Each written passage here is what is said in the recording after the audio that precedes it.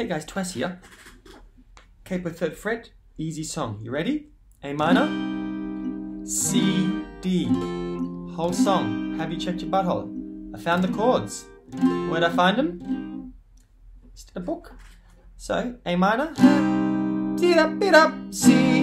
Have you checked your butthole? Skip up, bit up, C to a D. When, and you can this mute thing. I don't say it yet. A minor, C, D. It's just me putting my palm here and strumming. See? Putting my palm and strumming while my palm's on it and playing the chords. Have